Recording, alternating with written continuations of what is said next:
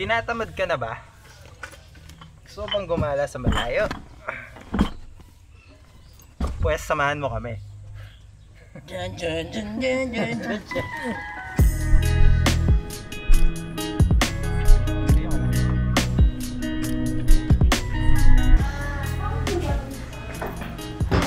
Ah. So, andito na tayo ngayon sa May Kalamba, Laguna.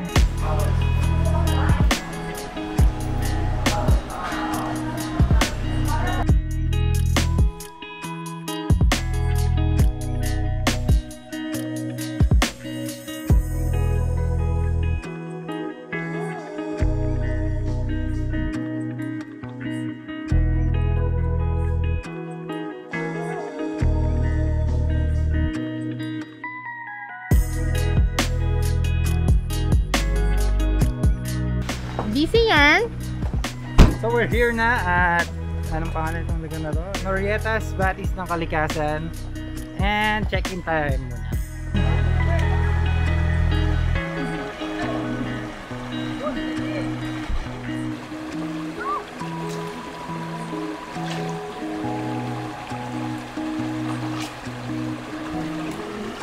Ah. Sakit. May visitor tayo. Hello. Hello.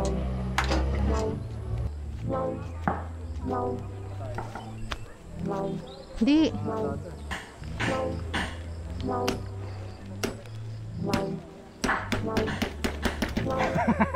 Ayusin mo, boy. Dalawa. Yep. Ay, ito. Isa pa. Ang kawawa naman ito pag inubos natin ano. Ito, yun nandito. Ito, ito. Wag, masarap pa ng bata.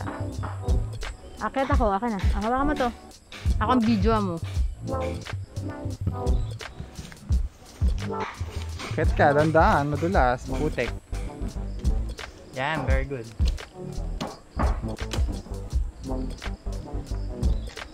Okay na yan? Ito pa! Dami naman. Paano tayo akyat? Okay na yan?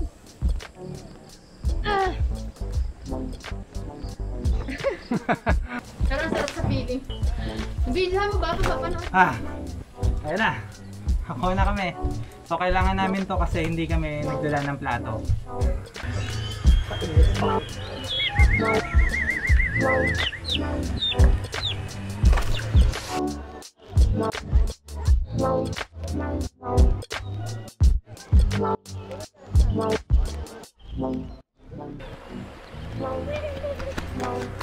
Hello! So, tatawid ulit tayo ng ilog kasi dito sa lugar na to para makapunta ka sa kabila. Batis. Walang tulay dito. Hmm. Tawid ka ng batis, boy. Ang madaming iba-ibang area dito eh. Merong mga... Alam ko may tatlo silang area for batis na maligo. Tapos may mga iba-ibang tent area. Ito, batis to tent pitching area. Ayan. Mga set ng tents dyan.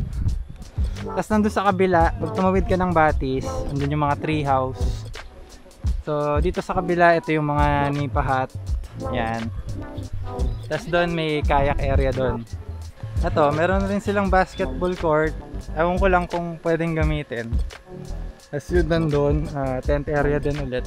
Tapos dito sa may bandang dulo is parking. So malaki yung area nila dito.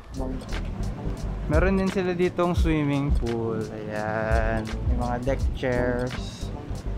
Swimming pool. May part na malalim. Ito mababaw pang kiddie pool. Ah, ang downside lang ay may bayad siya 300. So yan, ah, pag may gagawin kayo, mga payments dito sa ang tawag niyo dito ate? Reception area. Reception area. Ayan. So, ano po sir, no airsoft? Hmm. Tama tayo. Ayun yung mga target, mga lata. Ano lang sir, next po kayo sa kanila. Ah, sige po. Pero may... Ah, may langgam. Ayoko dito. Yun, nalanggam na ako. Sir, antayin niyo lang po na matapos sila. Oo po. Sige pa, sige pa. Same lang po ba yan ng mga pellet gun na tinitinda sa palengke? Okay, sir. Ano to, high-end? Ah. High-end. Hi! Hi. High-end. May price po ba pag marami kaming napatumba? Ano, baka po kasi next month meron po kaming gano'n na magkaroon ng tournament. I ah. hope, hope you can register po.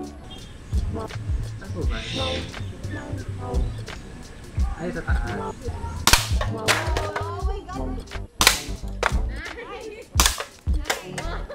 Nice!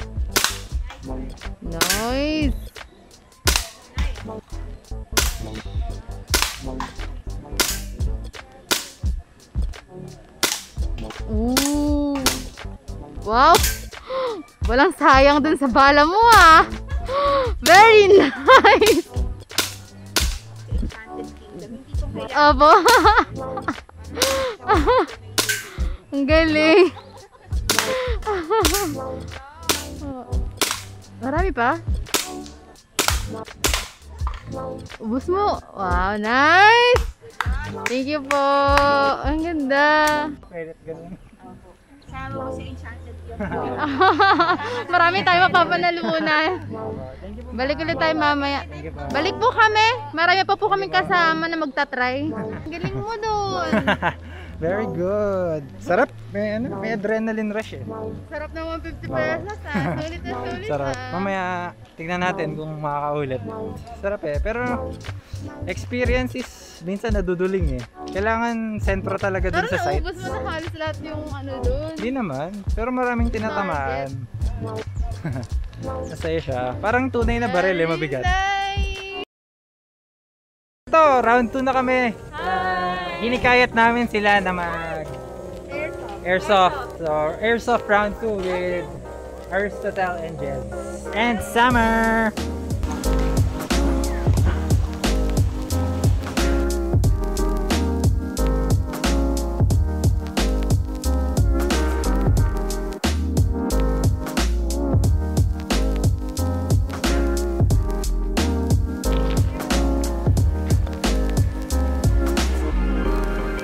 Round 2.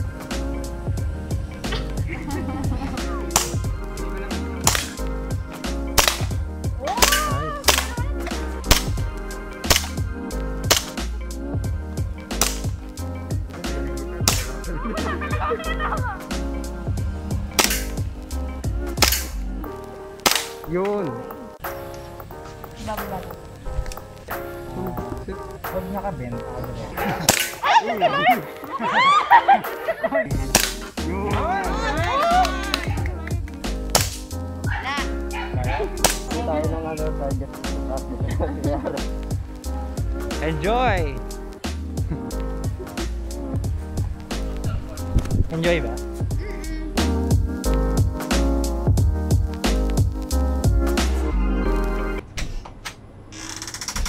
Ah, welcome dito sa kwarto namin. So yung napili namin dito is yung tree house. Malit lang naman yung tree house. Aircon siya. Na the remote. Ayan, may dalawang may dalawang cabinet. Ayan. Malamig. Very nice. Kahit parang nipahat siya style. ah, Malamig. Kasi ito may ano siya. May nirbuksan.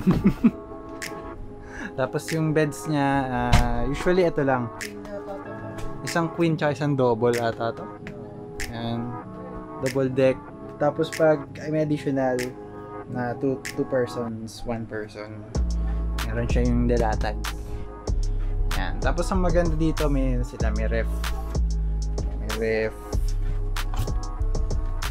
Ref na may freezer. Medyo maliit lang.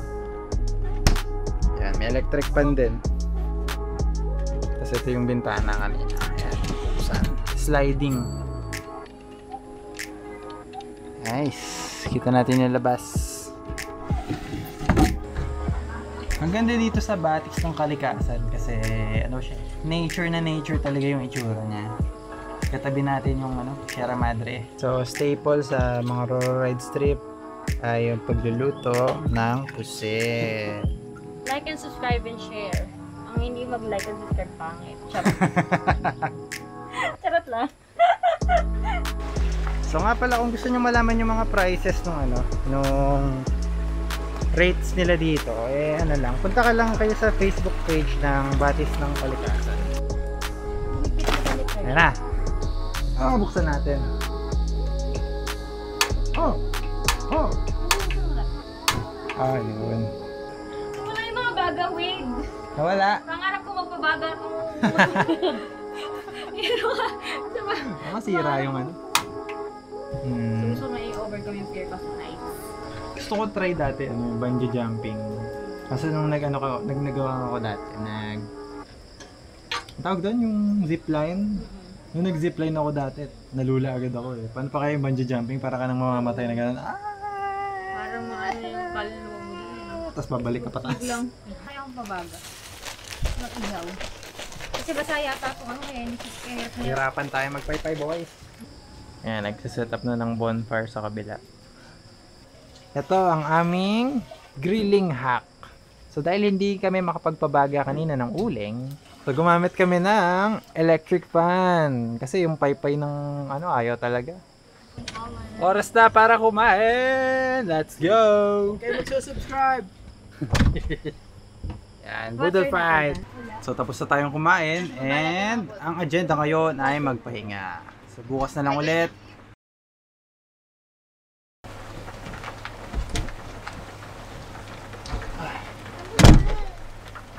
Good morning guys. And bad luck. Napakaulan ngayong araw. It's just like Cavinti all over again. Pero ito yung itsura ng ilog ngayon, oh. Naging katulad siya ng ilog sa amin. Kulay na sila.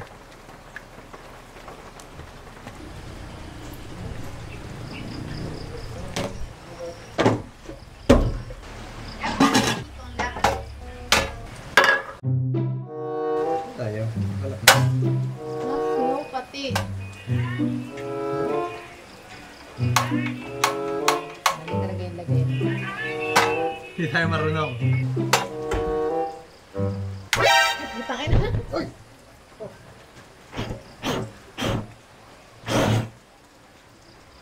na. Pa kasi oh.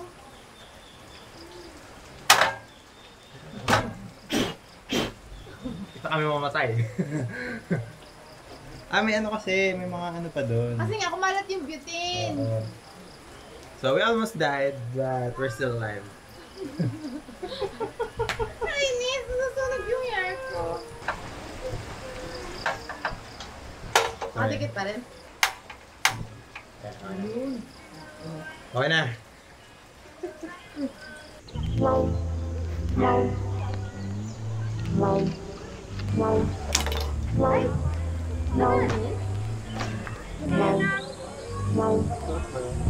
Masarap pa Final thoughts natin dito sa Batis ng Caucasian. Maganda yung lugar nila eh. Very serene. Very natural. Konti pa yung mga napunta for now. Hindi namin naabutan ng sobrang daming tao. So, kung pupunta kayo dito eh, pumunta na kayo hanggat di pa nagla-lockdown ulit. Maganda yung potential ng area nila. It's, still expanding. Madami ring activities like sa ATV, merong airsoft, may mga tent, and other stuff. Ang na-encounter lang talaga naming medyo hindi kami nagandahan ay yung CR nila. And may mga stuff sila na medyo hindi accommodating. Pero yung ibang stuff naman sobrang accommodating. So nabawi naman. Tsaka ano, pag umuulan, hindi nyo may enjoy yung lugar kasi ano, medyo mabaha. And tulad nito, magiging kulay brown yung kulay ng tubig kasi galing sa bundok na tubig na kulay brown, maputik, bababa. May dinosaur oh. Ayan oh. Godzilla.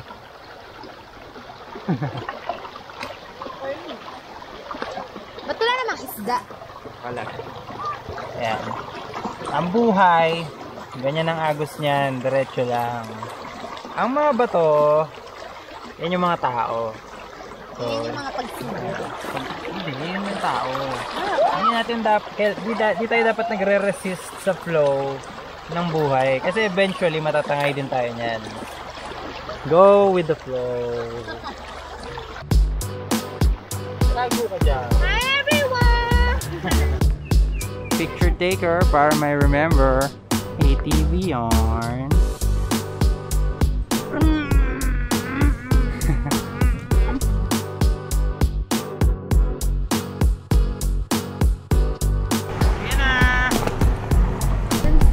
At ayun na nga guys, paalis na kami.